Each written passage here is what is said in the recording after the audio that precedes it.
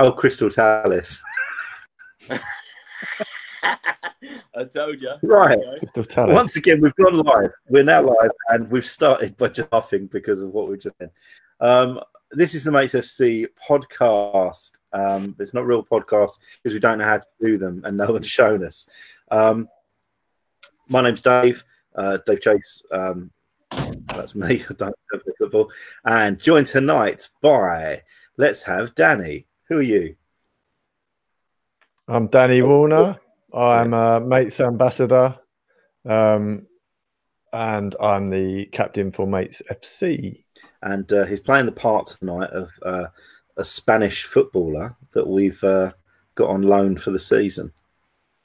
Right, then we've got Sí, gracias. yeah, get all the words, didn't you? Um, yeah, and then we've got Crystal Tallis. Do you want to introduce yourself? Uh, yeah. Hi, um, I'm Andy Tallis. I'm uh, one of the coaches um, at Mates FC, as well as uh, football fitness. Um, I'm also the welfare officer at Mates FC and a mental health first aider. Lovely. Then we've got uh, Simon Greenstreet. That way.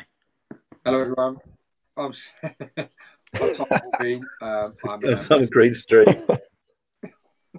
I'm an ambassador for Mates FC, and uh, yeah, help coach and train the team, and general general helping hand, and Football Fitness Club. and football fitness club as well. Yes.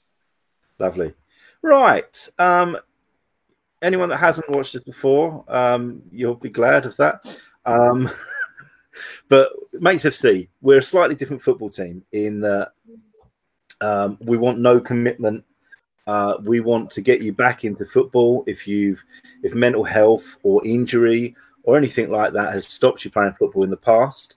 Um, we want to get you back into football. And a massive thing, people, the trouble with mental health people don't recognize symptoms people don't know why things happen to them and, to, a lot of the time people don't recognize that they're suffering from um, mental ill health so if you don't feel like leaving the house full stop there's probably not much chance that you feel like going on a pitch and playing football and that leads to not playing at your best let feeling you're letting yourself down feeling you're letting your team down your team might not be happy with how you're playing, and eventually it just leads you to leave the team and lock yourself away in the house again and don't do anything. And that one passion that you had, the football that you've loved since you was a kid, the camaraderie around it, the um, football training, the chats, all of that sort of stuff, that all goes. And you end up even more alone than you were before. We want to reverse that. We want you back out there if you want to come and play for 10 minutes play for 10 minutes do whatever you want to do um, if you we literally just put the events up the games up as an event put your name down for it on the week of the event if you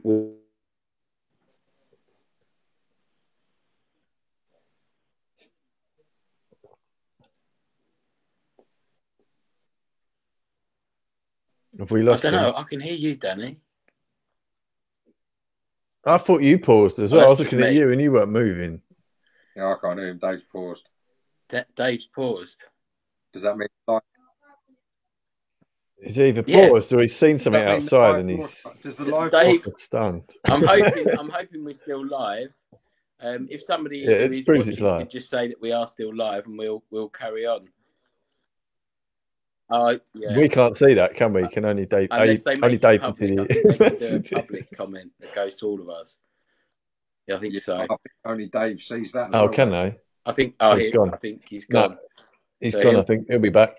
He'll dial. He'll dial back in. He looked like um, Littlewood's catalogue, didn't he? But we He did, yeah. live. Um, so hopefully, uh, if we are still live, then um, we'll just we'll just carry on as we were. So uh, I think, as as Dave was saying, um, you know, we're we're a football team, a little bit different um, because there is no commitment. Um, you can just you can just come along and join in any of the matches that we've got. Um, uh, you can come to the training. Um, uh, sorry, Dave's saying he's just restarting it, so hopefully he'll come back in in a minute. Yeah, so uh, sorry. So yeah, so we're a team with a bit of a difference. You can come along training, you can come to the matches. Um, there's no commitment. If you're coming back from injury, a long-term injury, and you want to just come and give it a try and just see see how you get on, then you can do that. Um, and it's really good. I mean, we try and get uh, other teams to play most weeks if we can. Um, we're also uh, looking at a minute about um, getting a league team as well. So we're having that discussion. Um, but yeah, it's just football for everyone, really. Uh, we've got um, a couple of girls um, that, are, uh, that come along and they play in, in the matches as well. So really is open to everyone. Doesn't matter about ability. We've got guys that have never played before, um, and then we've got guys that have played at really high standard before. Um, and like I say, have either fell out of love for some reason with it and now have, have got that love back for it or through injury. Um, so yeah, really open to everyone. Um, I don't know if there's anything else the other guys want to add to that. I was just going to say when you were talking about um, really is for any sort of any ability. Um, if you haven't played for ten years, fifteen years, twenty years, whatever, even if you haven't played at all, like you mentioned the girls, um, one of the girls that comes played her first game, and you wouldn't know it was her first game. She, um, don't get me wrong, she wasn't Lionel Messi. She wasn't like taking five players on, but she had a really good touch, really good pass. Um, I was really impressed with how she played in that first game, um, and I think she really enjoys it as well. So, uh, one thing I was going to add is that a few people, I think, is that there's that stigma about um, not knowing anyone, and what you what Dave's mentioned before as well. What if I get there and uh, I don't know lose the ball in the first two minutes or whatever? Uh, there's a few people I've known who've put it off, put it off, put it off, and then they finally come and they've really enjoyed it. I've not heard anyone say go away and, and say it wasn't for me. Um, I, I, wish I'd stayed at home and not come. Um, obviously, people are going to think maybe next week I'll do it next week. I'll put it off. I'll do it next week.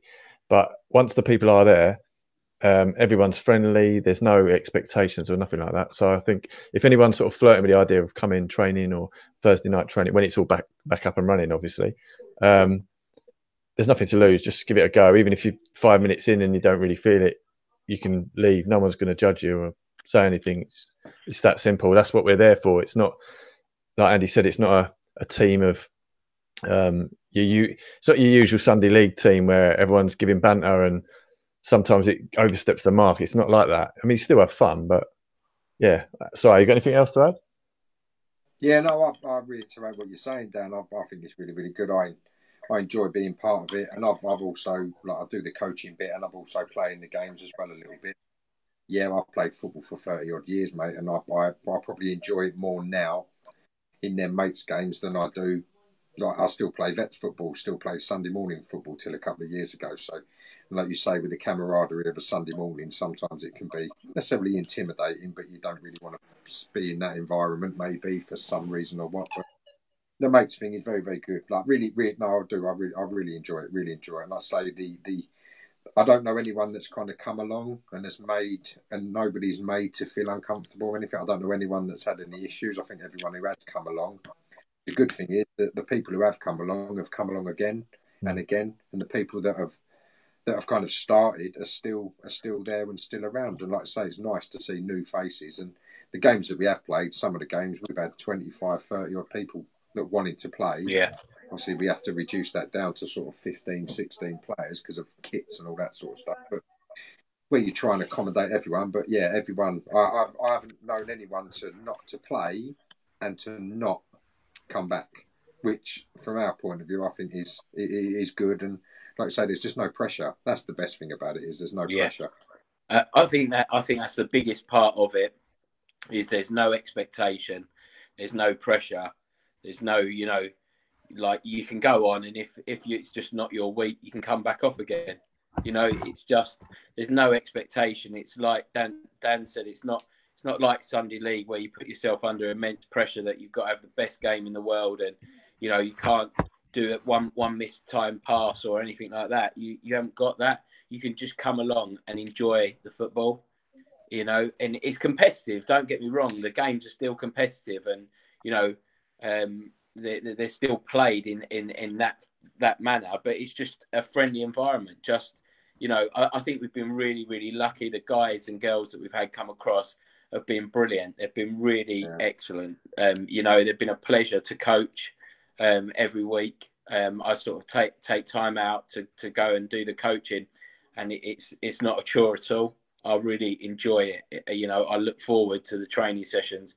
Um, I look forward to the matches, um, as does Simon and as does Danny and and Dave as well, because they're just a, a good good group of guys and girls, and it's just it's just nice to you know catch up with them and see how their week's been, and, and, and also, you know, um, sorry I disappeared. My computer decided decided to turn off and do a Microsoft um, update in the middle of all of it with no warning whatsoever. So that's nice.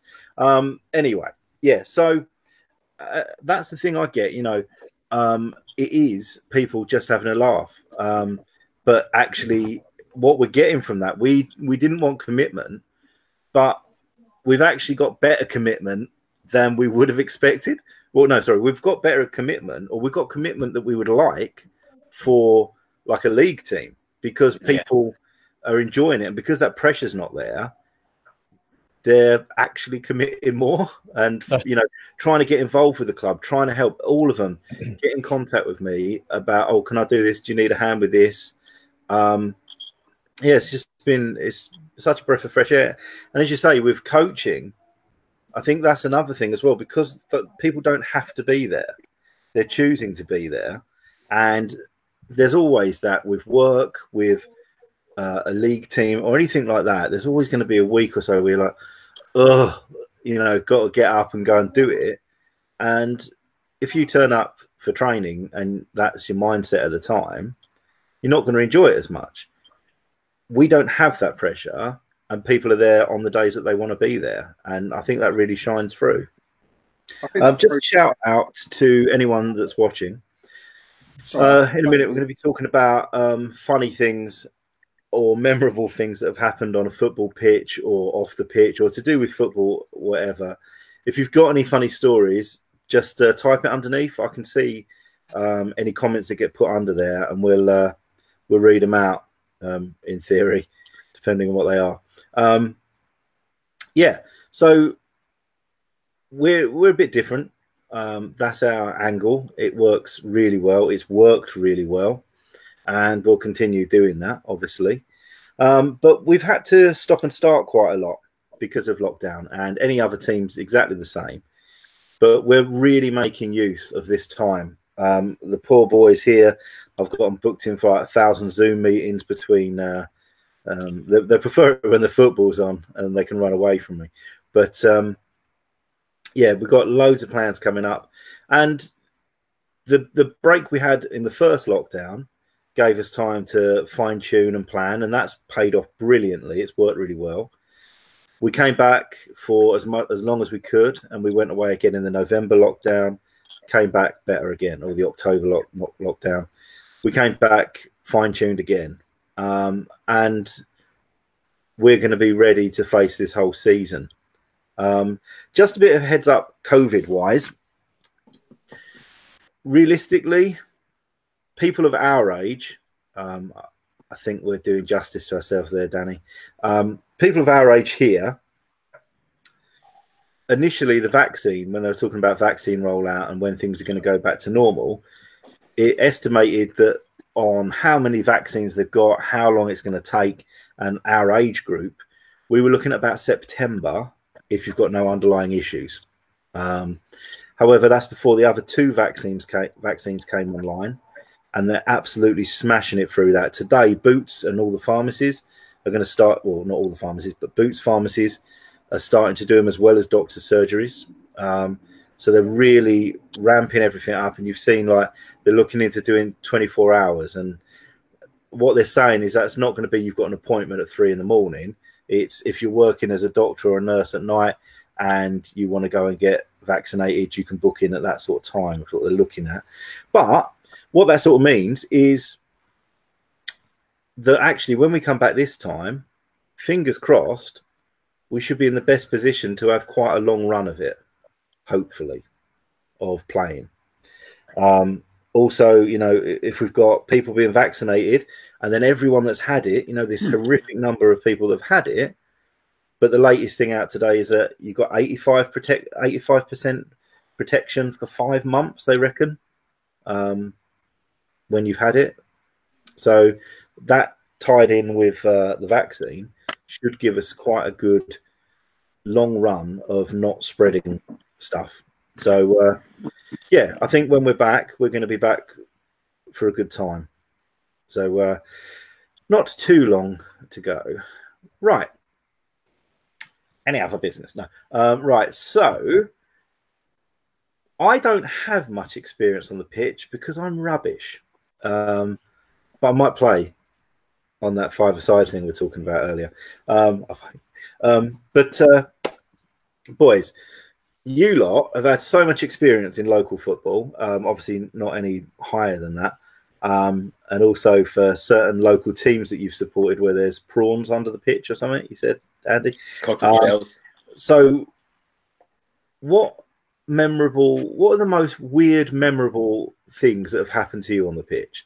Because obviously, the enjoyment of playing football is brilliant. The enjoyment of scoring is brilliant. All of that sort of stuff and taking part but it's just all the weird stuff that makes you laugh and funny stuff that is just another level. Oh yeah, I think there's been quite a few, especially comedy moments when I've been in goal. Definitely.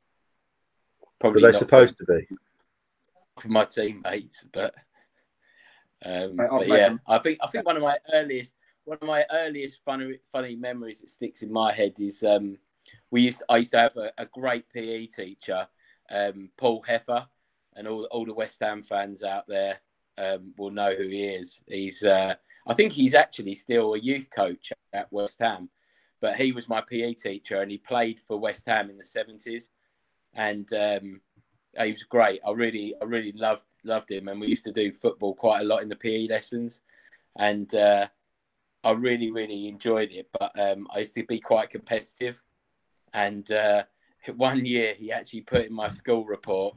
Uh, uh, Andrew really loves his football, and he's come on. He's come on um, really well this year, but he must learn that the referee's decision is final. As a kid, quite, yeah, as a kid, yeah. Uh, I was senior school, so I was about twelve. But uh, yeah, he, he put in there. He must learn the referee's decision is final, and I've still got that little report book and uh, it just makes me laugh every time I read it. Thing is, the report the report What's that? Sorry, they they sort of like they're nothing like real life. Like I remember we done athletics at school, and uh, we only done like one week would do discus, one week would do javelin or whatever. And I used to walk past underneath the stairs as you um, go out to the the school field. Uh, Danny, you might remember. Well, sorry, you might as well. But you know, like the sports hall, next to the swimming pool. Yeah. And if you walked yeah. out the back door towards the squash club, right? Yeah, and you yeah. walk out there, um, there used to be, uh, oh, I forgot what they're called, hurdles. And they were stored under the stairs to the changing room. And every time I went out that door, I thought, I, if they ever bring those out, I'm just gonna, I'm gonna run away. Like, I can't do a hurdle. I can barely walk. Um, but yeah, in my I found one of my school reports and it just said Mr. It was Mr. Webster, I think, um, had written it, and he just wrote David excels at shot put. But I don't think I've ever even touched a shot put. um, I look like a Russian shot putter. I'll give you that. But I don't. I think he might have just presumed I excel at shot put. Um, it's like, well, it's nice to excel at something, even if it's a lie. Um, so, are you got any uh, weird things happen to you? I imagine Oh, a lot of weird stuff's happened to you. I've got a lot of stuff, but all, one that always sticks in my memory, and it's a shame Piers is not on it. We was um, we played football when I, when we played for Gallywood. We played for Gallywood for years together. Anyway, Nathan, uh, I think uh, John John Dare was our manager at the time, and um, like we'd all been out the night before, and we was absolutely stinking rough, still a bit drunk or whatever playing. Anyway, got to half time was losing. I think we was losing like three or four nil, and um, we was getting an absolute bollocking off of John Dare, like off of our football manager at the time. And I let one like a silent fart off right inside the changing room, and he was going ballistic, like, and then he all of a sudden he was like, "Oh my god, who on earth?" Who on earth has done that? And made him gag, and he threw us all out the changing room. I just, the, the, honestly, the you asked Piers, Piers was there, and it was just like I just let this little bomb go off while he was moaning and shouting, and it, obviously he got wind of it and whiffed of it, and was just like, "Pardon the pun." Oh my god! Oh my god! And uh, yeah, not people out the changing room, but that's a that that was just one of my funny ones. I've got loads of. It's, it's a natural thing to you. Like, don't get me wrong, it is to all of us, but I stand there at the side of the pitch and I sort of just smell something and I just glance over and you're like looking over your shoulder, like we've known each other 40, probably, well, probably about 38 years. Yeah. That expression has not changed, and nor has the humour. Nothing's changed between us. It's brilliant, and it never should. Um, the, when the well, when the day that a fart is not funny is um, yeah. I think that. I think the day I don't find that fun. Although I did get once told off at Bluewater. I did one, and um, this woman went, "Do you mind?" no. no, I don't. And then I scared a kid once. This is nothing to do with football, but I scared a kid. I ruined his holiday. Um, we went to Magaluf, not me and the kid. We went to Magaluf, and um, we were there for two weeks, and we were so rough. I learned to play a piano one night, um, and then that's all I remember. And I woke up and we was on the uh, the cleaner. it was almost like she knocked the door down with her cleaning trolley because she couldn't get in for like a week or so. Um, because we were nocturnal, so we was coming in in the morning and going to sleep all day, having a lasagna, and going back out at five, and um, yeah, and uh, this one day she threw us out on the balcony, and it was like the big Spanish hotel, and it's like a semicircle sort of shape, about 20 floors or whatever. Sat on this plastic balcony furniture, and I was just sitting there like, oh my God, like she's woken us up. We didn't know how we got home or anything. We're sitting there, and then I'd done this massive heart. And next to me, the wall was like about this high, and then it had that reinforced glass that you had at school indoors. You know, it's got like the wire in it, like the square wire. Yeah, yeah. So you couldn't see through it, but you could see people the other side. And everyone's sitting out on their balcony waiting to go to dinner. And I'd done this enormous fart and it, it ricocheted around this semicircular complex, right? Like it was like a, a Mexican wave around the complex. And then I couldn't breathe for laughing. I had to put my hand in my mouth like this. And um, yeah, to stop myself laughing. And then this little kid next door just went, Daddy, was that thunder? You said it wouldn't do that here. and I was on the floor, almost hyperventilating, crying, because I was just like, a poor little kid. Yeah, daddy is that thunder. Um, but no, anyway, on that subject of staying in bed all week and not like washing, someone here's got a similar story, haven't they? I was wondering who that was, but um, are we? Am I actually telling that story now? Um, I don't think it would hurt, would it? Because I think we've all changed a little bit. Like I remember, I'm nothing to do with sport in the real world, and uh, I wouldn't, you know, uh, two years ago, I wouldn't have even owned like a pair of tracksuit legs. I don't mean that in a snobby way. I just my lifestyle doesn't involve a pair. It, it was it was uh, black winkle pickers, and uh, we'll call them skin tight jeans. They were just jeans, and I'm fat. Um, but um, yeah. Uh, and I remember a, a, Facebook post come up the other day, and it's like, "Oh my god, all time low! I just went to Tesco's in a pair of tracksuit legs, right?" And for me, that's a big thing. I can't imagine. Well, I, I, that's a lie. I've had to put a suit on a couple of times in the lockdown, but putting a I ain't put shoes on because I'm only on Zoom, but um, wearing actual shoes and I think we've all definitely changed during this lockdown, and things are a lot calmer such as our hairstyles and things like that. And Danny brought something up this week. Go for it. Um, Which I think we're yeah. all guilty of. Well, not guilty. I'm used. I'm used to working on the road and being all suited up and everything. Um, and this last since March last year, it's been a complete culture shock to me. I haven't had my hair cut since February last year. Um, it's normally and, got a short French, um, normally like a short French crop. He looks a bit like Ellen. Apparently, rumor has it if she copied me. Yeah. You dance Um, like her, don't you? I do dance like. I was hoping for the similar taste in women gag again, but here we go. Um, yeah, so a bit slobby. Obviously, there's no school. There's no. Um, I'm not, having to go out. When you to- left school 20 years ago. I left school. yeah, I miss it like crazy. Still keep bringing it up. Um, so yeah, it's probably the same as everyone, but I haven't had any reason to go out or anything um, that much. So I went out for a run Friday night, come back, had a bath, um, and then did what I needed to do over the weekend. I think I went for a walk, long walk with my dad, uh, and then Sunday night I put on sort of just those like cut off jogging bottoms uh, shorts, Oh, yeah. whatever, whatever they're called. And um, I slept, I sleep in them, so I slept in them. And then Monday I got work, but you I not got from a bed? Home. No, that's I just crawl into one leg. You got a pair of And if, it gets, if it gets really cold, I just fold the other leg over to warm me up. cute. I wonder what happens You can't really get it from this video, but Danny's the size of a field mouse. A tall field mouse. I'm sitting on the sofa. I'm sitting on the um, cardboard of a Ham toilet roll. Croque Monsieur. Um, yeah, so uh, I put these shorts on, slept in them. Monday down down to the uh, kitchen table for work. Still wearing the same shorts. Monday night went to bed. Didn't re- didn't really think anything of it, and then I suddenly thought I did a bonfire last night and I stank of smoke. I thought oh, I better have a wash. So I run a bath. And I'm sitting there thinking, and I suddenly thought I actually haven't washed, like even armpit wash, nothing. Haven't even sprayed deodorant since Friday before. So what was that?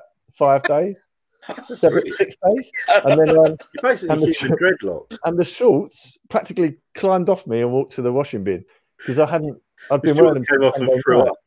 Yeah, yeah. So that was my. I've got a was my similar. I've got this one now.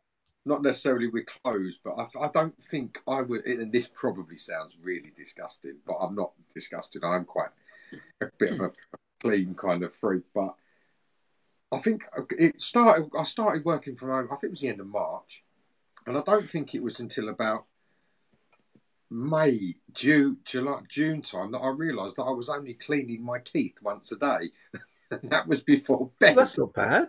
I thought you was going to say it was only till March. It was it was in June that you chat you washed your work trousers, like your high vis. I, I mentioned it on a Zoom on a work call, and I was like, uh, uh, like one like a, a team call with my team, and they was all like, "Oh, that's disgusting. That's the first thing I do is clean my teeth." And I was like, "I do obviously clean my teeth. Normally, you get up for work, you get you put your shirt and tie on, you clean your teeth, whatever you go out to work, don't you?" But we're working at home. I'll, I'll, yeah, and I'm still now only clean my teeth probably once a day, and it's probably quite bad. I don't know. Is that I Well, at least you get dressed. You know what more do they want? Well, I don't really get. I just get out of bed and put. I will normally put a mate's tracksuit on or a football fitness tracksuit, and that's all I've been wearing for ten months. I like it when you wear weird things. I've got quite I a lot li- of weird things, Yeah. and uh, I'll put stuff on. I've got like a black t a black t-shirt, and in neon pink it just says "Busy Mum" on it, right?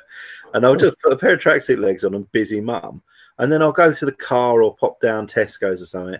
And once you put it on, you sort of don't think about what you're wearing anymore, do you?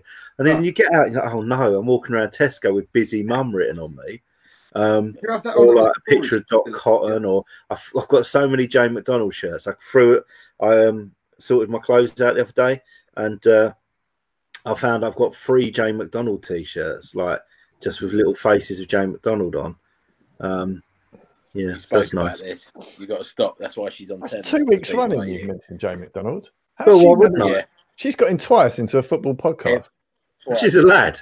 I sent her I a know, she's photo. get- I sent her a photo of me more- cuddling a cushion with her face on, and just went, "I More love you." airtime than Pierce's goal. Did you get a reply?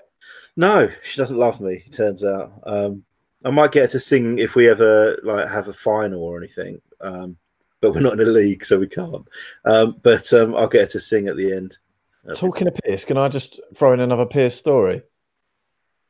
Yes. I've got I've got two actually about football, but um, I've got I've got football stories for days. But um, the Pierce one, I remember I was playing. I can't remember who I was playing for, but we were playing against Gallywood, and I was hanging out my backside. It was a Sunday morning, and um, I, I don't recall anything about the game, apart from one thing. It must have been about 65th, 70th minute, and me and Pierce were in the middle of the pitch. Um, he's probably running it.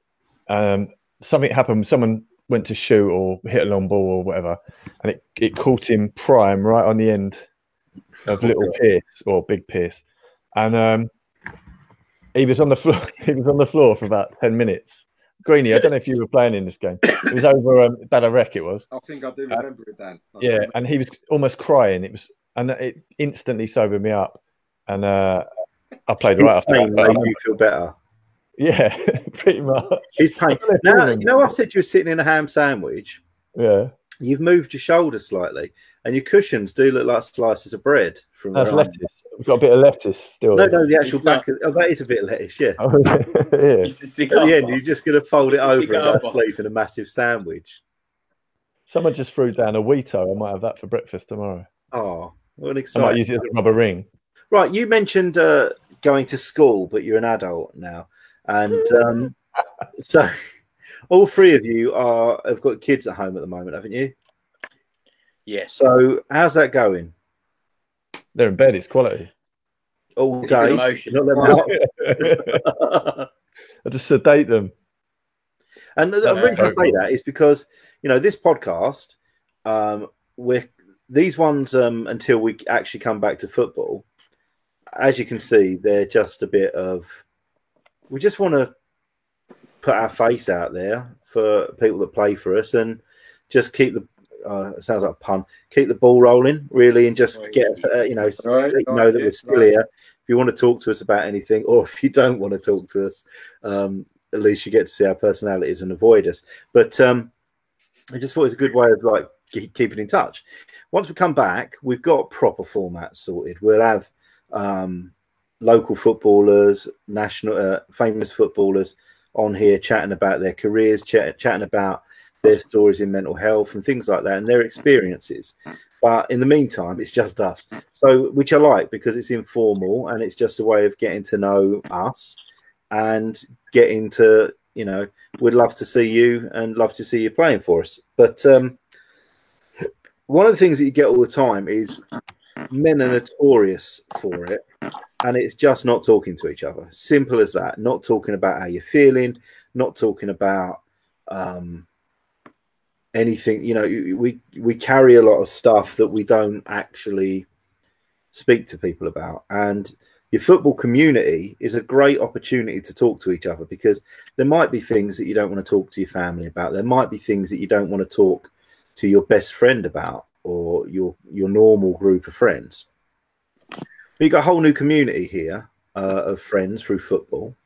Um, that actually there might be someone that you're more comfortable to talk to. And something that's really affected uh, through lockdown is loneliness. That's a massive issue, but also the homeschooling thing. And with people I work for and work with, um, one of the biggest things as a manager that I've had a lot of trouble um, trying to make better is how on earth are you supposed to work from home, have your kid at home anyway, but also homeschool that kid? Yeah. Now that's massive. Uh, we, we're changing people's. We're letting people say, look, just let us know what's good for you. Let us know if you want to work weekends because your wife's home or your husband's home at the weekend and you can get on with your work at the weekend. If you want to change a contract while we're in um, lockdown, lockdown. If you want to do, you can't do your contracted hours. We'll do that. We'll change. We'll work with you and do whatever we can. But women are really good with talking to each other, and that's one of the reasons why, like the suicide rate for women is so much. It's like uh, two thirds lower than it is for men, and that isn't being sarcastic and just saying it's because they talk, but it actually, you know, they talk. They get things off their chest. They talk to each other men don't. Now we've got three dads here um, who we're going to have a lot of people watching who are in very exactly the same situation as yourself, and they might be supporting their wife or they might be split up from their wife and having to do this homeschooling. And very often, men feel like they're the ones that should be in control, should know how to do everything, should be supporting the wife, should be supporting the family, all that sort of thing. And, you know, that's all stereotypes, but I know that's how people feel a lot of the time still. So for three men here who have just been thrown into the homeschooling sort of world or not homeschooling, how have you found the last week? Yeah, I think it's um I think you touched on it really. I think it's just um it's just hard work like spinning all the plates. Like um, it's it, like like I think we talked about it last week, but I've got um, I've got a ten year old and a and a six year old, and the ten year old's pretty self sufficient. Like if I set her up in the morning, she sort of plods through what she's got to do, and I'm quite lucky in in the in the fact that she is quite diligent. She enjoys it, so she she does get on. Um, but with the six year old, although she's really like she enjoys doing her work and everything, she still needs that bit of help.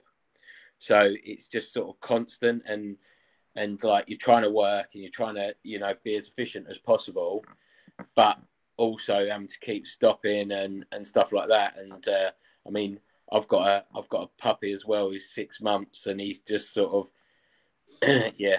So it just makes it. It's just that added thing. It's like um, you know, like I'm, I'm making sure he's not doing something he shouldn't be doing, and then I'm trying to homeschool and I'm trying to work at the same time.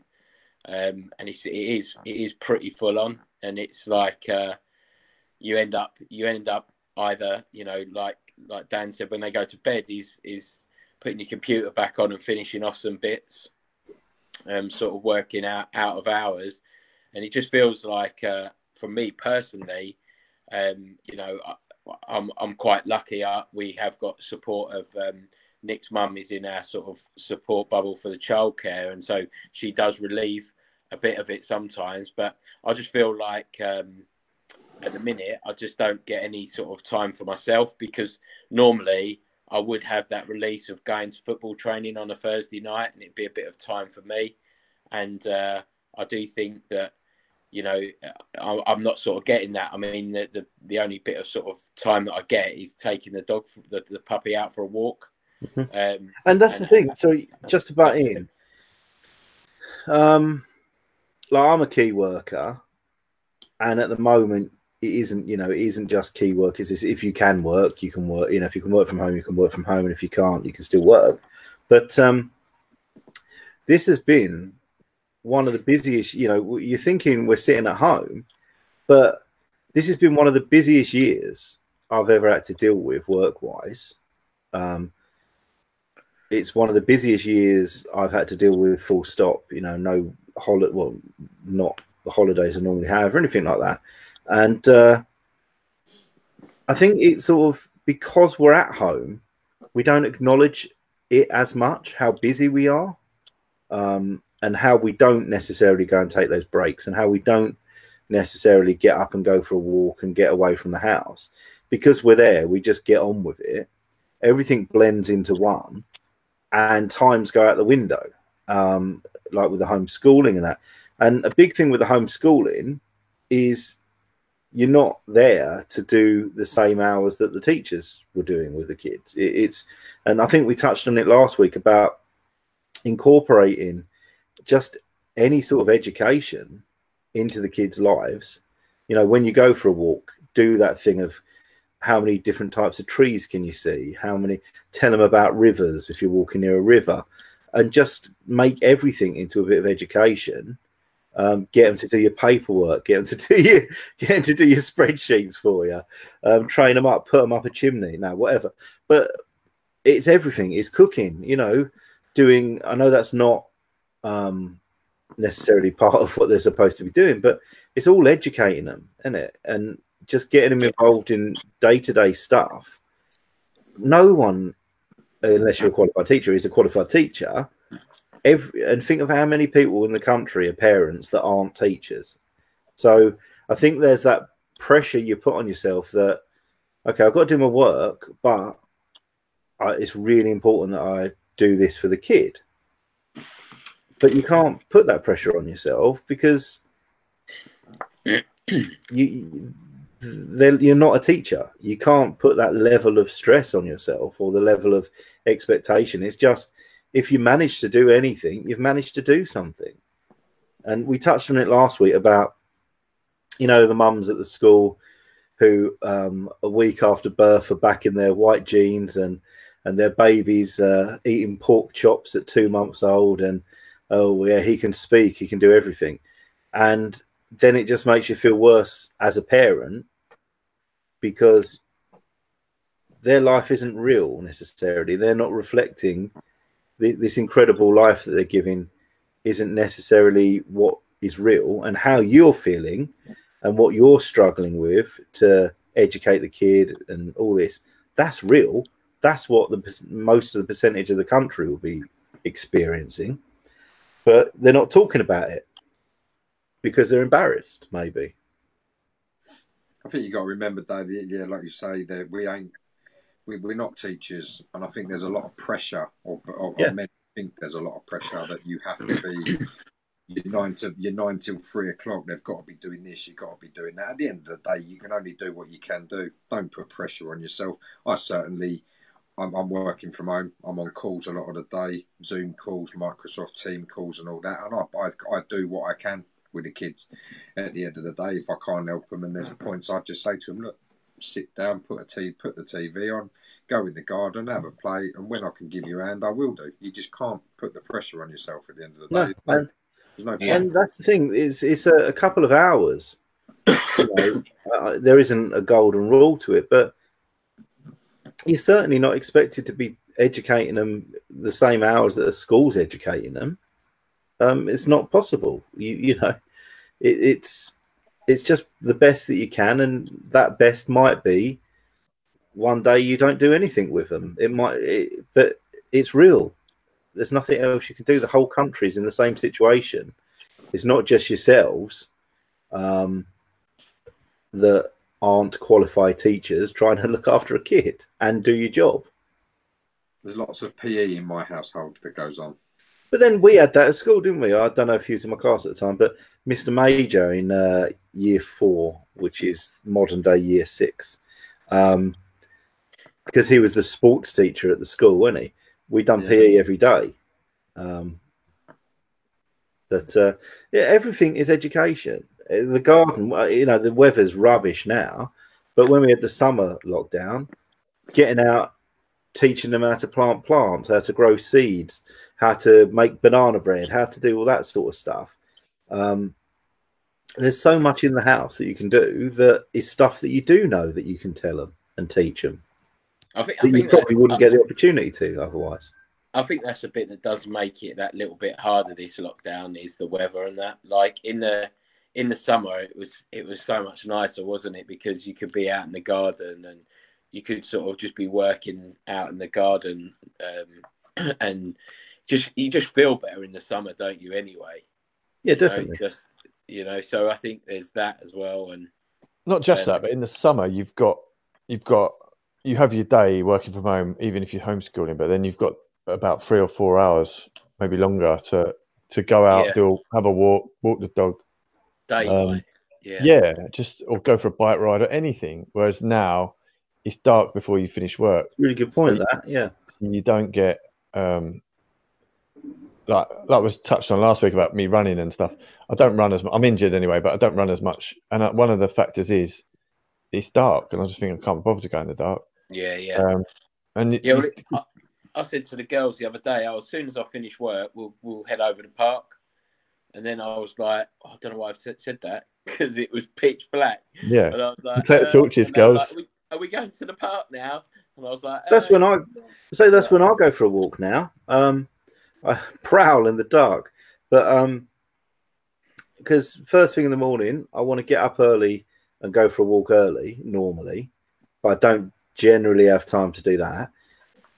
I want to be on the computer by seven. I want to make sure I'm dealing with getting all my team sorted for work and blah blah blah. Get all that sorted. Then I'm stuck in it. I did have a run where I I blocked out on my lunchtime, so I'd get up and go out at lunchtime, and I need to do that again. I only done it up to Christmas, so I need to do that again. Um, but then I finish work. I do stuff like Zooms with us and things like that. And like last night, I went for a walk at half nine we had a meet. Yeah, um, I had a meeting last night. Finished at half nine. I went for a walk after that for like an hour and a half, pitch black with a torch. Um, didn't see anything.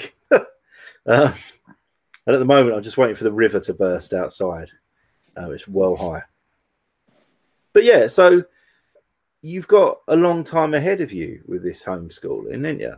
And I think it's really important that you really sort of establish at the beginning that you drop that standard that you may have put in, maybe, because you just need to do what you can, and that's as much as it, that's as much as it can be.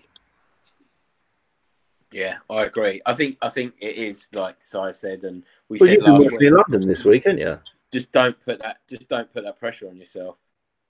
Yeah, I mean, I, I went up to London a couple of days this week um, for work, and it was just weird. It was just weird. Like the tra- the train was, the train was completely empty. Like you know, and then I got into got into London and went onto the. I had to go onto the tube, and the tube was just, you know, like nowhere near as packed as it normally is. But I just couldn't really get my head around it. Like people were just sitting on their chairs as normal, like not leaving a space between and stuff like that. And and then quite a few people like wearing their masks under their nose. And like one lady actually said to one guy because he was uh, talking to his mate, and then he kept coughing in between, and she went, "Can you pull your mask up?" Because he had it like under his nose. And it was just like you might as well not have it on if you're not going to wear it properly. You know, it's But you know, this is ten months. Ten months into this, yeah. I know we didn't have masks right from the beginning, but it's ten months, and people are still just failing at the basics of Yeah. that. Like some some people were getting on and sitting like between two seats, so people couldn't physically sit next to them. But I was like, it's shocking that you've got to do that to you know like to not sit next to somebody. I was See like, now, the the thing that gets pulled up all the time is like about planes. But I went um, in July. Yeah, July. I went to Greece, and I'd not let my parents, who were shielding um, until then, but I'd not let them go to a supermarket because you go in a supermarket, you've still got people leaning across you and all that sort of stuff. And I thought, in a control freak way, if I plan the journey to the airport, plan walking through the airport. All the airlines put out videos about the um, HEPA filters that the so the same hospital grade filters that you have in hospitals and things like that. HEPA grade filters on the plane that recycle. Uh, sorry, no, not recycle. Uh, re, replenish. What's the word? Replace um, all of the air within the cabin of a plane every three minutes, right? So all that air is changed every time. When we got on, we went with Wizz. I already had antibacterial wipes to wipe the seat, the handles, uh, you know, the, the arms and the tray. But when we got on the plane, they gave us antibacterial wipes to do that anyway. So you're wearing masks on there as well, weren't eating, weren't anything like that. So and I was sitting with my family, no one else with me. But that the air's re- uh, being taken out and replaced. You've got antibacterial stuff around you. You've got antibacterial gel for your hands. That's very different to sitting on a train next to someone or a bus. But you're still seeing like buses, people. You're still seeing people Yeah. sitting at bus stops next to each other that aren't, you know, necessarily with, with with the family. And you just think, why have you been sitting in an office all day away from other people, like spaced away from other people, and then you walk out and you still sit next to someone at a bus stop? yeah, What are you doing? Like, what do you not understand? And then this week with uh, Premiership football, they had a bit of a a, a re thing about what was the game two days ago. There was a And there game. was there was a, the Aston Villa game they because they shut their training, didn't they? There was one they were showing uh, on telly, uh, on the news, and they were saying like they had words before about not doing goal celebrations with each other, and that's the FA. You know, the FA. We've had those FA rules since the return to football in June for like, us, and it is, you know, no spitting, no goal celebrations, none of that. But our Premiership players are still doing it, um, and they're still, you know, hugging each other and stuff like that. And that's not, you know, how can you put it? Yes, they're getting tested all the time. A lot of them in bubbles and things like that, but it, it don't really spread the word very well, does it? No, I think like we, we touched on it last week, I think, but it's I think it's really tough, isn't it? Like um, because you know, like I think it might have been Arteta or something was saying, you know, is it more like is it morally right that we're still playing football when everybody else is on lockdown? Like, why should we be exempt from it? But then, from a you know what, you know, if you're a single single guy and it just gives you something to definitely it's entertainment. To, you know, it's entertainment and it is something to look forward to. So from that, um, you know, respect that you know it is it is good. And I suppose from from their side of it, they are sort of risking, uh, you know, putting themselves into that situation for that. You know, even and, if you take it from a footballer's side, they're sort of risking their their health, their family's health, for that entertainment of of the of the public watching it and stuff. So, what do you think about um, with that in mind?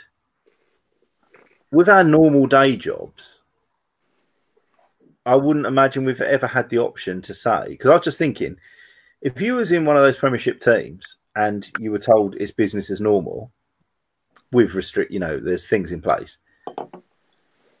would you be comfortable with that? But then I thought, well, actually, our day jobs, we get told that we're still working. We get told what's been put in place to make us safe at work. And we get told what those new rules are at work. But we don't get the option of, oh, do you still want to come to work or do you not feel safe? So actually for the for the players, maybe it's the same it's the same sort of thought mentality, you know, mentality there. Because I'm yeah. thinking like, what if you didn't want to play and you're in a club like that? Do you get a choice? That's a very good point, Dave. Actually, that's a very good point because from my work, we, we we we can go out if we want to. We only go out to sites if it's health and safety or business critical. Now, but we have an option. If we don't want to go, we don't have to go. But if you want to go, we've got key worker left. You want to go, you can, as long as it's under business critical and it's authorised by your line manager. Um, so we have that option, and that's real. But then, if you're in a contract with, um, you know, if you play for Spurs and they want you out on that pitch because your contract is that you play and they need you. They need they need all the help, yeah. I've hmm. never really thought of it that way, Dave, actually. No, I haven't either. Even though they're elite elite sportsmen, they've still got their they're still they're still putting their families at risk, aren't they? Yeah, every time. You know?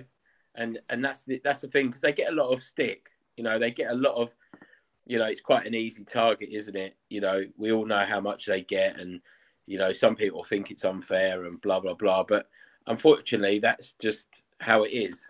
And it's not their fault you. If you if you were a player and somebody said, "Oh, uh, we can we can pay you, you know, hundred and fifty thousand pounds a week," but um, or we could we could pay you uh, a thousand pounds a week and it'd look better. Like, what would you do? Like, you you're not going to you know, well, it's, just, it's just how it is, isn't it? It's, it's, it's a short-lived career, and that's just that. That's just the money, unfortunately, that is in football, especially Premiership football now. But I don't think you can hold it against those guys because, you know, again, they get a lot of stick, but a lot of them do some really good stuff. You you only got to look at Marcus Rashford and what he's done, you know, for getting meals to the kids and that, that sort of stuff. It, he actually changed the government's decision on it. Hmm. You know, you know, so they, they do get a, a bad rap, I think. And then, but playing devil's advocate with that, right? You know, when it's like, oh, that they get all that money, they should give that to charity. Why should they? It's not their fault that they earn that money. Yeah, I know. I know they they negotiate in uh, with agents in contract talks and that, but it's not. If that money's up for grabs, like us in our work, if one of our colleagues is getting fifty grand and you're only getting forty grand, then you, and you're doing the same job, you're going to try and negotiate the same wage. Mm-hmm. It's not their fault they get that money. The money's no. in it because of sport. But, but and I think, go on. I was going to say, so that example there of another colleague getting uh, different money but doing the same job. If we look at it the other way around, of we are in a position that earns this much money, but the director is in a position that earns this much money. Yeah, it's a different role. He earns that much money. I earn this much money. Yeah, we earn this much money, and those footballers that are in a different role to us earn that much money. Yeah, it's the same thought. I'd say it's the same sort of thing. We're not doing that job. We're not. No, that's getting what I'm saying. I'm yeah. But if that money is in that, if that's what the going rate is it, for that job, That's it. then that's what they earn. And Yeah. if they personally want to give, if that's too much money for them, and they want to give some away, lovely. But we hear They probably much- do. A lot of them probably do, but they don't Yeah. broadcast it because they don't want Yeah. it to And look like so they're much. going, "Oh, look at me, I'm doing this."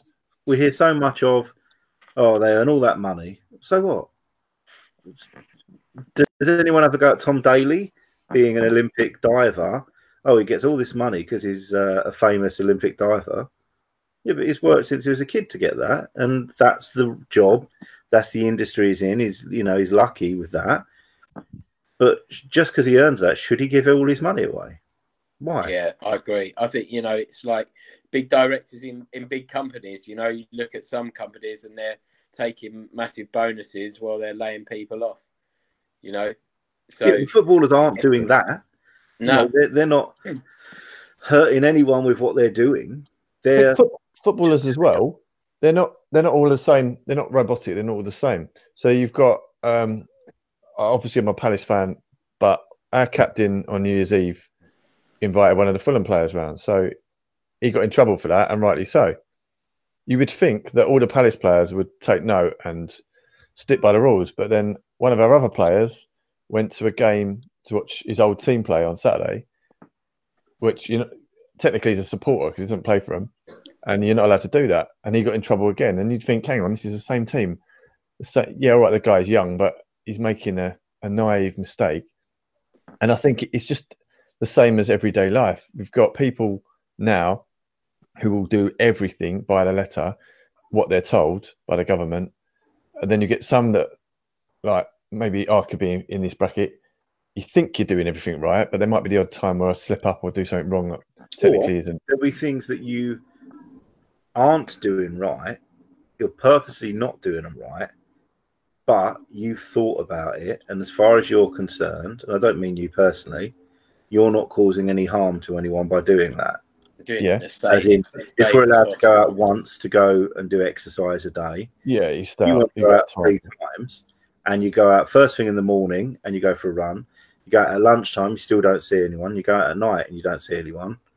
You're Yeah. not hurting anyone by doing that, but actually, it, technically, it, it's not Yeah. what to do. But then there's other people. I don't know if I mentioned it last week. It might have been after, but um, I went to ASDA and there was a girl come in. I think I did mention it really quickly. Twenty year old girl come in. Security guard stopped her. She didn't have a mask on. He said, "You're not coming in without a mask." Um, in the end, he, he gave her a disposable mask, and she walked past me about 20 seconds later with it in her hand. And there's that kind of person, right?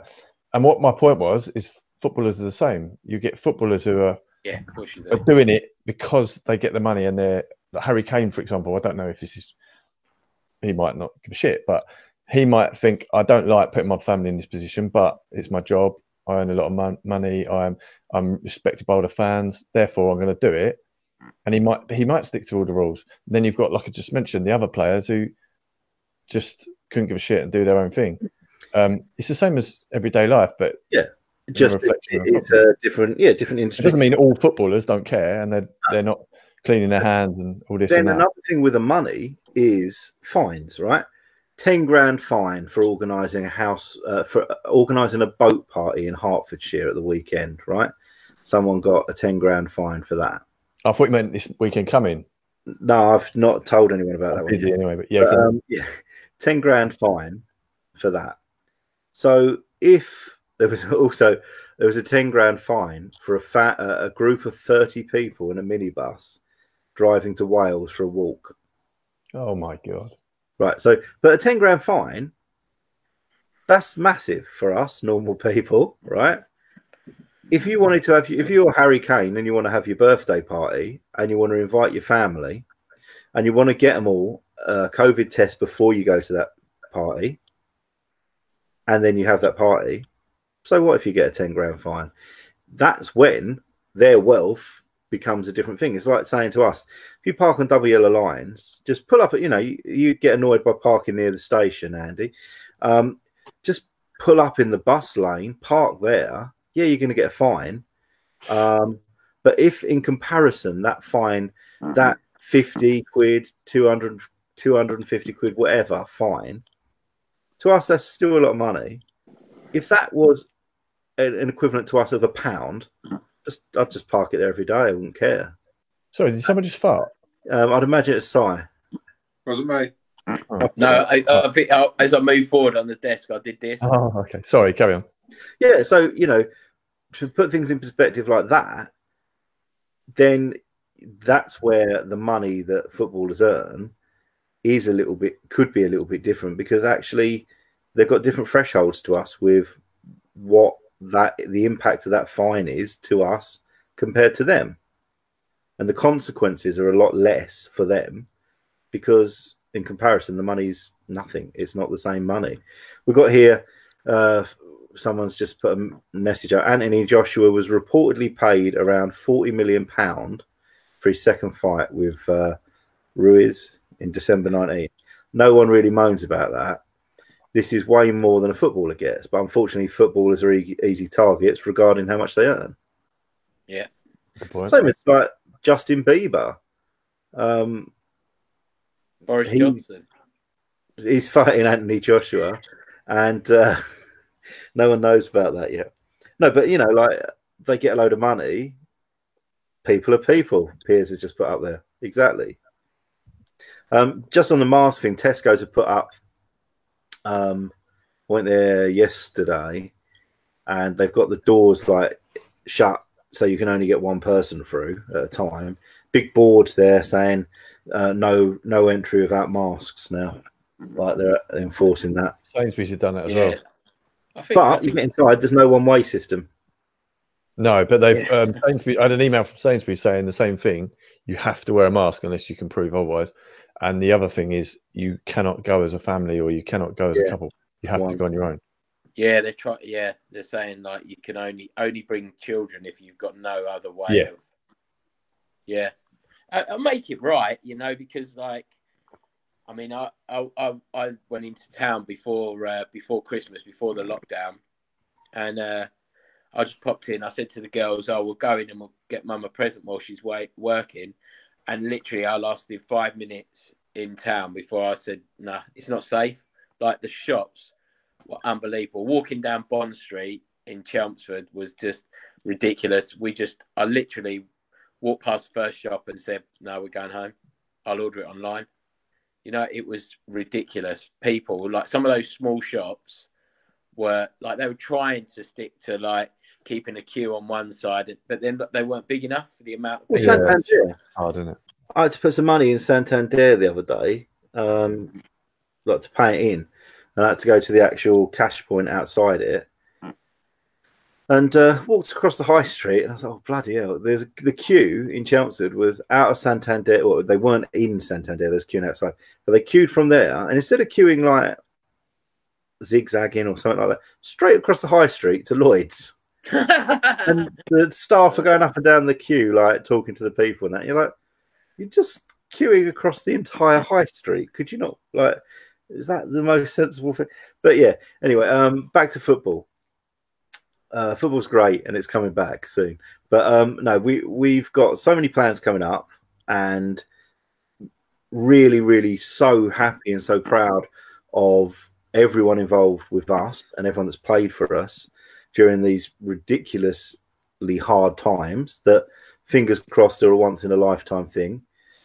Piers, Rich, all of our coaches, what they got in place and how they've adju- adjusted weekly to how these restrictions have changed.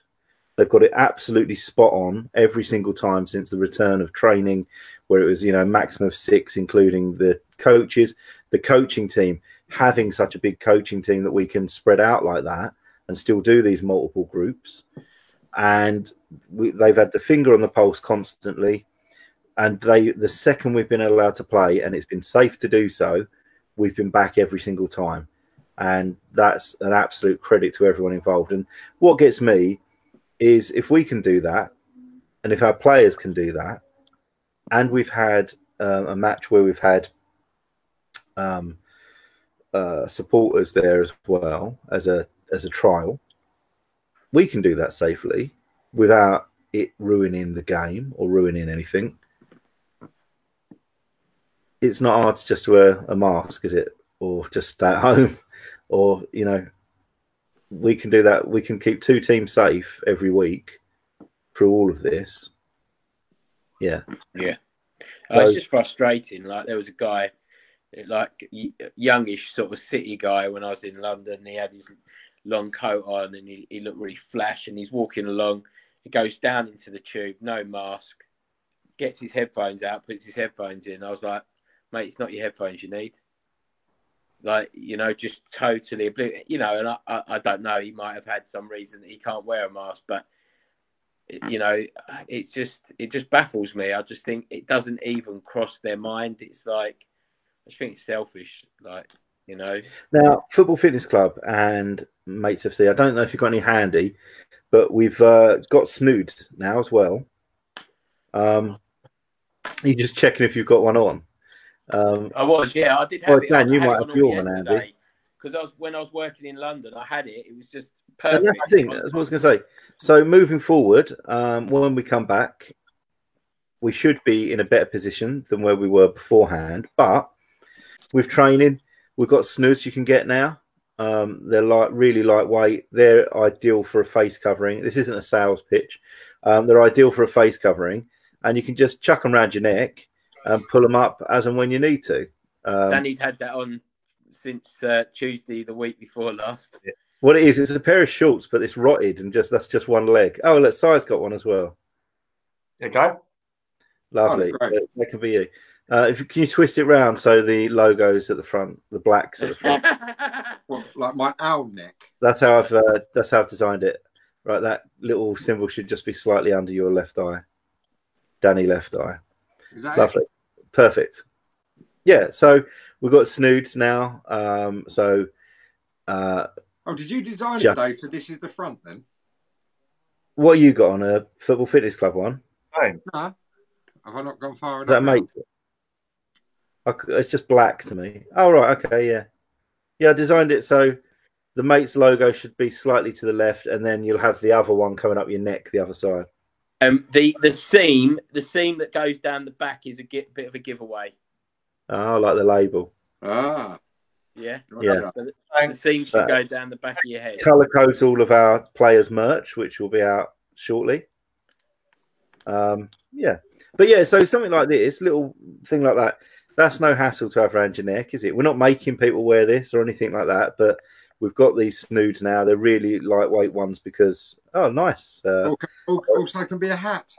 Yeah, um, I don't know if what I I'm allowed to say, so I won't. Um, but uh, yeah, they're ideal just to pull up over your face as and when you want to. Yeah. Um, I've been wearing but, it uh, wrong. Because where it is a whole body stocking. That is. But yeah, so what we're also doing, um, we're going to kick off shortly with getting fixtures back in. Um, well, we've got some fixtures still in already, but we're going to go in from April definitely, and we want to fill up every Saturday. If you want to play us, if you are a team already, if you're not a team and you want to just get a group of mates together, whatever, just let us know. If you're if your work team, you know, if you've just been stuck in work and you want to get your work slot back together and get them out, come and play us. Put a team together. If you need a kit, we'll help you out with that. You're not having one; you can just borrow one of ours. But um, yeah, we just want to get every Saturday filled in and get people out there and give you the opportunity to play football. When it comes back, it is coming back proper. Uh, Piers has just said on the messages, Cy Green straight out of Compton, straight out of the kiln. Straight Ask Piers, what, what's the uh, what's the uh, Palace score? Nil nil. I've got it over there. Uh, You say nil nil. when does Zaha? When does Zaha sign for Arsenal? No, I don't think that's ever going to happen, mate. He's coming West Ham, mate. Uh, no, I Oh, think he wants not to go to a big club. Uh, sorry. Funny, yeah.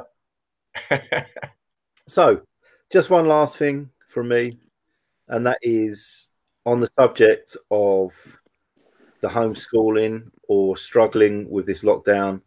We are a football team. No, we're not. I'm not. We're a football club.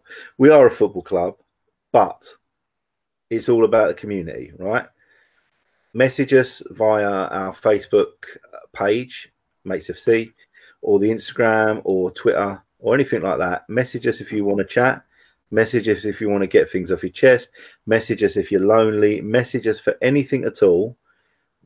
We're all here. If you've played for us before and you're in our players' lounge or one of the uh, chat groups, then use that chat group. Start each day saying hello if you're lonely. Um, we're not just here to play football. We're here for all of you, and we're here as a community, and we want to make a community. And actually, a lockdown like this is a great team bonding event, um, a long team bonding event. We can make whatever we need to out of this, but whatever happens, you don't have to be sitting at home alone. You don't have to be sitting at home worrying about homeschooling. The whole country's in the same situation that we're all doing in a different way, but we're a group of friends here that are all here to help each other. And it don't matter if we don't know you. We like everyone, and we need as many friends as we can, please, because uh, we've grown up with each other, and it's really taken its toll on us. Speak to Uh, yourself. Hey, cheers. Anyway, uh, Andy, anything from you? Final words. Um, no, not really. I think I think that's brilliant. I've just uh, I was just thinking of funny stories because we were talking about funny football stories, and uh, I remember there was one. Um, if anybody's ever played at the old Broomfield, uh, when it when it when it used to change rooms used to be up by behind the Angel Pub, and uh, it was like um, I don't know, it was just like an old kind of prefab kind of building. And uh, I remember we played a cup game against Broomfield, and I was playing in goal that day. And uh, just for a laugh, all the boys were sort of getting ready in the changing room, and it was about five, ten minutes before we went out. And uh, I was just mucking about, and I saw that there was this little metal bit coming out of the wall. So I put my foot on it, and I jumped up, and there used to be like rafters in the in the cha- across the changing room, and I held it with one hand, and I went, "Come on, boys, are we up for this?" And I went like that and started doing pull-ups like that. But what the boys couldn't see because of the way the bench was and my bag, they couldn't see that I had my foot on this metal peg. So it looked like I was doing one-handed pull-ups, which I can't do two-handed pull-ups, but it's quite a lot of weight to lift. But I was going like that. And I went, "Oh, we up for this? Come on, boys, let's go for it!" Like that and it was really fun. And all the boys started laughing, and then one of them clocked it, and they all started laughing. But as I went like that, I looked over, and the, the wall had about a two foot gap, and the away team could see me, but obviously they could see even less, and they were looking at me all horrified like. Like we went out Hulk. and won seven. We went out and won seven 0 They were just. They were like, I'm not going any. I'm not, I'm not going anywhere near that goalkeeper. But yeah, They were beaten before they went out. they were beaten before they went out. What they didn't know is I was had my foot on a metal pole. But yeah, it was quite Cal Britain's funny. got talent.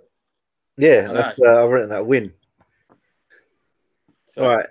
Uh, right. Okay. Anything from you, Danny? Danny. No, no. Danny. Um, yeah, just like you said, just well, actually, yeah, say no and then start talking.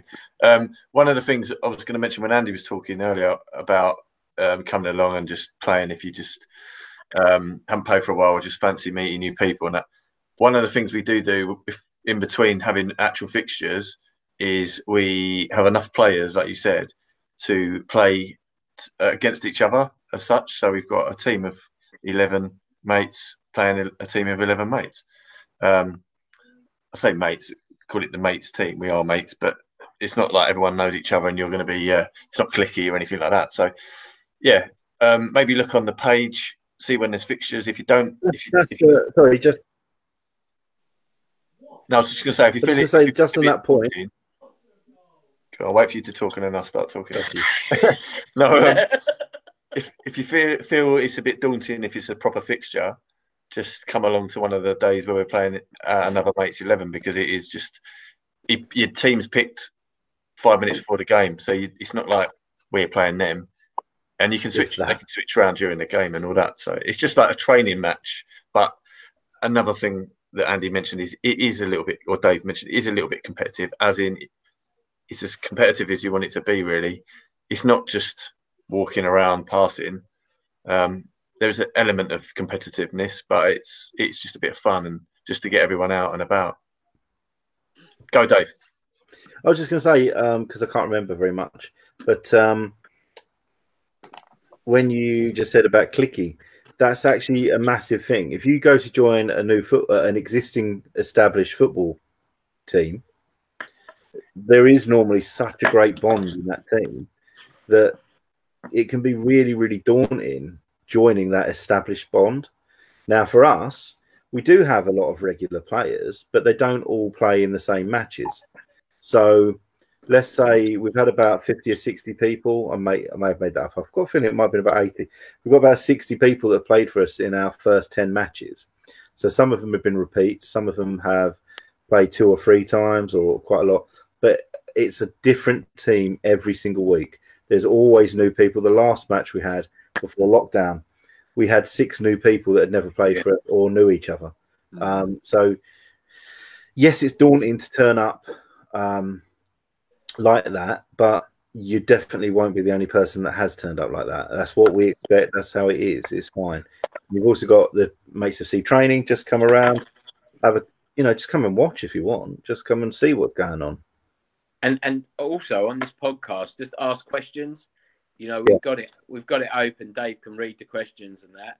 If you've got anything, like even if it's just what you want us to talk about on the podcast, um, you know, if it's if it's a question, if it's something funny that you want to add, just please come on and, and add that because it adds to this this podcast. You know, the more interactive we can get it, the better. Exactly. We are, you know, for mates, we are your mates is our um, catchphrase, if you like, and we are your mates FC. It, we listen to you. We put the direction that we go in. We put our ideas to the team and we let them steer. Um, we want to make it work for whoever whoever's playing for us. Right, anything from you, Si? Um, I'd like you just to basically do a massive fart would be great. No, no, nothing. I've, I, have let a couple of little silent ones off. I don't know if anyone. Nice one. Any trouble with Brian Harvey recently? No, no, no, no, no. All good. I haven't been out, Dave, with so I don't really okay. know. But I, and I, uh, and you, Andy, you've been all right with uh, Carol Decker or whoever it was. Who was it? Was it Carol Decker? Carol Decker. Oh, Alison Moyet. Yeah, that's Carol Decker.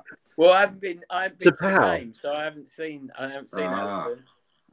So, but I'll tell you what, Southend are doing well. We, we're. Uh, I'd like to say we're climbing up the table, but we're still bottom of the league. But we have had a couple of wins. And you're uh, in the table. What more do you want? It's looking a lot more promising than it was. He's doing a great job. So, just a question we got in from a viewer: um, Have you seen any good goals recently? Uh, oh, you might know. I think the that... last good one was Piers'. Oh, was... Who's Piers? Oh, Piers Lindo. Honestly. Oh, the local football legend. He literally. Oh well, I can't. You can't. You've got to watch it. It's on YouTube. Is um, it actually? Sands Sands versus uh, Mates FC. Look it up. Uh, second half, it was uh, the aerobatics alone, like without without the power of the shot, something else. How does Absolutely. this get a mention every week? I don't understand. Well, it's well, just one of the best goals that's ever happened. It's a it's bit very, like it's very similar to Maradona and Pele. You and know, Diana Ross at they, the uh, American. Diana Ross when she done the American, uh, the opening of the American World Cup, and she kicked that ball. It missed the goal, and the goal exploded. Was it basically like that? They're just going to keep very own Ross, Piers Lindo. Who is Piers supporting tonight? Anyway, he's got both of his teams playing. Um, I don't know. He's not replied. Oh, Dan's on silent. Dan, you're silent. No, he's shy. Can't hear you, Dan. No, Piers is a, Then we- he's more of a Palace fan than he is Arsenal. I know he's listening, and he's I, not. I, this is this is new to me. I didn't realise that he had a second team. Can you hear me now? No, Yeah. Yeah, You Palace is Piers' first team. Right, we've had a request come in. Yeah. Uh, oh, um, I've got two things to read. Piers uh, has a message for Cy. Uh, I can't repeat it. It ends in head. Um, and I've also got I've got a request from uh, Gemma Green, and uh, it's can she request that I play in the next game? So actually, with what we're doing internally, he is playing in the five side. it might happen, and I get to buy some boots then, don't I? Them new Predators, how nice are they? The uh, Well, Predator Accelerator well, remakes. What were they? About 250 quid, though, weren't they? They've not said yet. They're coming out about March, but they will be about 250. Yeah. So they- if anyone hasn't seen, in 2014, I think the Adidas brought out. Um, they brought out all of the Predators uh, reissued again, um, the whole range, and they were beautiful. Um, but yeah, they're bringing out. Dave's got a lovely pair of predators, and they have never kicked a ball. They that bit of rubber on the front is mint. It's I've know asked him to kick a ball a couple of times. when we've Now, your when we've kids, got right? another- You're, I stand with Gemma at the side of the at the match, right? And your kids kick balls at me, and I don't even look at them. I just stand there. They, they, they- you know, like if a dog over like a ball or something. They, uh, your, your, yours are the same, Andy. Actually, your kids, uh, especially especially Sophie, they kick the ball at me, and I don't even look down at them. I, I, I know what they're trying to do, and uh, honestly, I know what they're trying to do. All they're trying to do is make me kick a ball back at them to play. But um, yeah, I won't because I'll probably take their head off. I Um, think I tried, didn't you? Last game we had when we had the photo in the goal, and you you kind of you had to walk like fifty yards across the pitch back to your spot next to Gemma, and I passed you the ball. I was like, Dave, I just why don't you ignore it. Kick? And you kind of looked at me like death, as if you was going to kill me. yeah, you, you- you haven't seen nothing yet. I think we're going to un- uncover a new Messi here. i've got on I'm, five uninjured, side. right? I'm uninjured. I've never been injured. Well, I've had broken ribs and stuff, but not through football. Uh, it's just this harness I used to go in. No, um, uh, removed. but um, yeah, I'm. Un- I've never had an injury uh, apart from where I walk like a pirate. Um, sometimes when I walk uphill, um, but um, yeah. So I think I'm prime and I'm uninjured, and a bit like if you've had something build up in you you for a lot of, a long time. Like I'd imagine also I don't punch people. So I imagine if I was to punch someone, I'd probably be as good as Frank Bruno or something. Yeah, but um, like it would just be 42 years of build up. So I'm thinking the same with football. I think I don't think I've got any skills, but I think I could do the world's best toe punt and kick the moon out the sky. You've got one shot in you. Yeah, and probably what I'll probably do is break one of the kids' spines or something. But I just I'll pass back one day, and it'll be so violent that they'll just they'll just be like those things that you hit with a bowling ball. What's they what they call pins? Pins. Your all four of your kids that are out playing around me, they'll just be smashed to bits like um, Bowled bowling pins. um, Hear me? huh? Can you, people hear me now? yeah, I can hear you now. Like, What if, right? You're the world's most gifted footballer. There's ever- no, I And think, you've wasted these years. I think this quite a lot. I think it might happen. and we'll never know. I know. You've I, I I reckon, literally have I never. reckon he Oh, I did kick practices the ball once. Secret. I kicked a ball really good once. I sent a video, didn't I? Where I kicked it at the rail at the train station, at the viaduct. And what happened? Did it come back? No, I chose on the wall where I wanted to kick it, and I kicked it at that spot. So probably Messi. Did you? Yeah. That's a good, Can that's a I good just thing. say- You can, can I hit just where you're say- aiming, mate. That's the that's it. You, you're made. Don't don't don't be fooled by any of this. Since lockdown, Dave has been in that park practicing rainbow kicks and everything. I don't know he what that means. literally he is gonna come I'm, I'm telling you, Maradona, the new Maradona is here. Maradona- Either that or it'd be more like Madonna. Yeah. But I'll tell you what has happened to me in that park before. No. Um, This, this, no, this isn't the show for that. no. oh God. No. Um. years ago, um, I used to jog, right? Um, but then they stopped making bras big enough for me. Um, and uh, I used to jog and around Chelmer, and I'd run between, uh, run at that bit, but before, um, you know, where the outside adult gym is next to the hockey uh, pitch, Yeah. and I'd run along there. And if a ball came over, I'd purposely not look because I thought I can't. I, I'd really sort of sprint along that bit and then just like be really out of breath because the the fear of a ball coming over there and me having to kick it back right into a whole pitch of people. I can't do it. Like I can't put Uh, myself under that pressure. I'd probably like it go backwards and end up over on the slide or something. But um, and I couldn't even imagine getting mud on my legs to be honest. Um, I after it now. But no, honestly, I, I don't. I'm not in that sort of like. No, that's snobby. I don't mean it like that. I thought, I get mud on my legs. Why would I get mud on my legs? Like, you're uh, on the 3G, You're all right. You don't generally get that, Dave. just making excuses. I just um, air. I can't run with air. The worst thing about the 3G is picking uh, those Oh, little flat bits out of. Yeah. oh, you mean you mean my entire floor is Wait. made now? My washing machine um lasts longer with Calgon.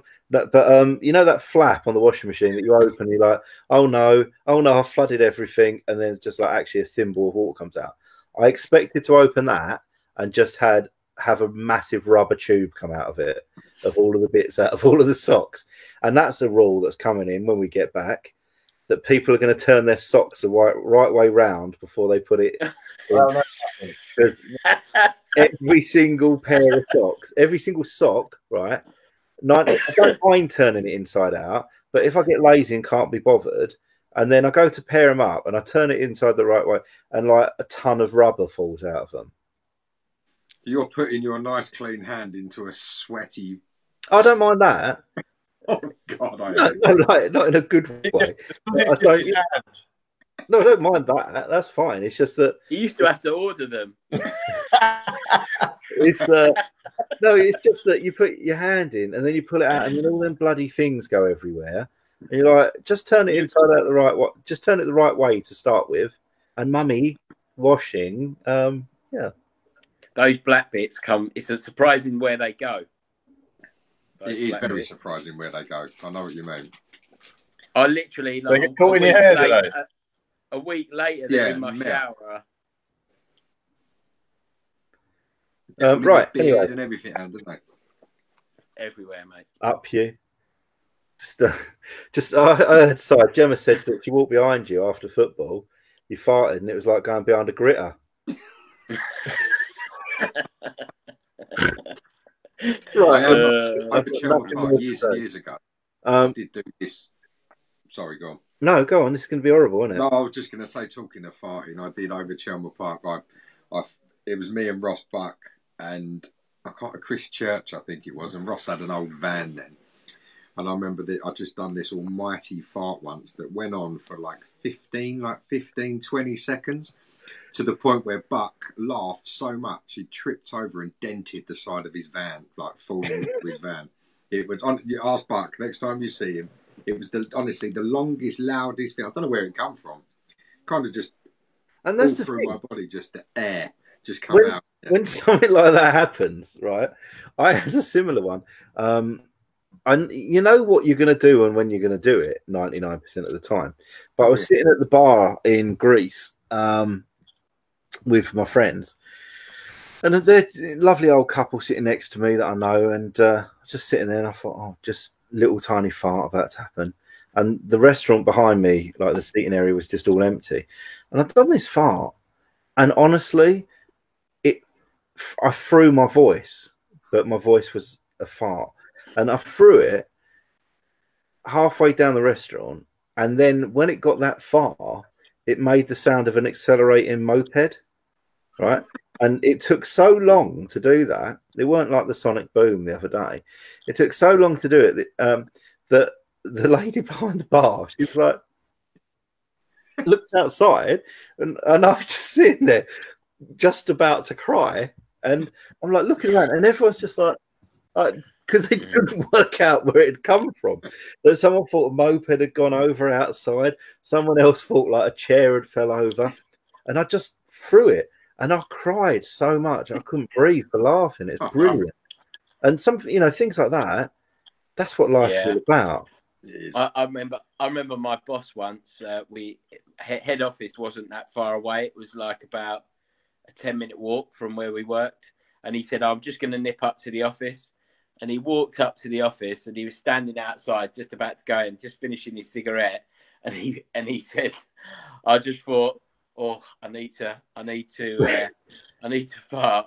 And he went like that, and and just as he was sort of feeling that way, this girl came out of head office and saw him. She used to work with him, and she went, "Oh hi," like that. And he said, "I went." massive, loudest fart ever. He said, but worse than that, she was with about 10 people from head office. And he went, he like spun around and was like, oh, oh, hi, hi. And, and like he said, everyone was just trying to pretend that they hadn't heard it. And he was just mortified. And he said, I could feel that, you know, when you get that heat in Yeah. your face. And he just said it was mortifying. He It's said, he said, the, he just he just wanted the, the the floor, but he said she just caught me off guard, and she went hiya, and he went yeah. Next week we won't talk about farts, but um, No. let's get them out of the system now. Um, I, I walked Paper Mill Lock to Heybridge Basin in Essex on New Year's Day, and I walked past this posh lady and her grown-up posh daughter who was wearing wacky leggings and stuff like that.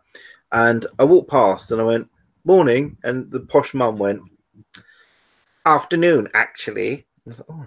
Yeah, and got level with her, and then I saw a nice boat immediately, so I stopped to take a photo of a nice boat. And her daughter, again, probably about thirty, just done the loudest old horse bark, right, out loud. And she just carried on walking with the mum, chatting away, and like, and I looked around, I thought, no, and like hundred percent, she just like, she's just walking on, chatting, doing this. I was like, bloody hell. But um, it came up on my Facebook today uh, that I was walking around Prague a few years ago, and I put on Facebook, it's like, apparently, if you walk around Prague because it's in a foreign country and you fart, it's all right because they don't understand. Because they, don't speak English. And I just remember like walking around, and my mate um, Raf was just like, "Don't stop it! Stop doing that!" And I was like, "What? We're in another country; they won't understand it." Different language. that's that same guy had um he he he had uh, he was on the train home one night, and you know as it starts to pull into your station, you get up and you stand in like the the the like door well bit. Um, well, not at the minute you don't, you keep distance, but normally you stand in that door well. And he said, I was standing there with two women, and all of a sudden, this really bad smell came about, and they were all standing looking at each other. And he said, um, like these two women like looked at each other and then looked at him and then did this like scowl and like shook their head. And he said it wasn't me. And he said I felt so enraged. I went, well, it's not me, so it's got to be one of you two. and he said it was the most awkward thing. But he said I got like this Tourette's moment where I, I couldn't. He said because they were looking at me and it wasn't me. And he said I felt get him like on I here. to say something. You should get him in here one week. I got on the Oh, uh, yeah. stayed in the hotel in Benidorm where they filmed Benidorm, and uh, on purpose. And I got on the coach to go back to the airport. and was really hungover and just sat there. And I'd done this terrible, terrible fart. And we went to the next hotel to pick people up. And this, this well, you know, like me and my mate Linda go on holiday every year to Benidorm. We love it, right? They got on these two women. I went, oh my god, it smells like shit on it. And on that note, we'll see you next week. Thanks for your time, and we'll talk. Thanks. Bye. Bye.